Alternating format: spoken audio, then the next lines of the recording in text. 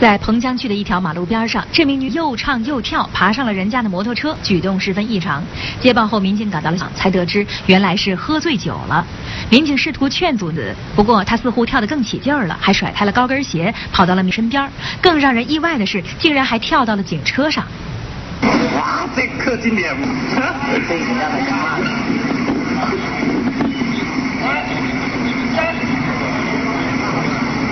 民警好不容易把女子从警车上劝了下来，谁知她又即刻冲到了马路上，见车就拦，又爬上了路边的越野车。女子的疯狂行径引来了很多路人的围观，为了避免扩大，民警只好强行将她控制，带回到派出所。最后才整明白，这名女子当晚与朋友吃饭喝醉了，酒精上头，于是做出了如此离谱的行为。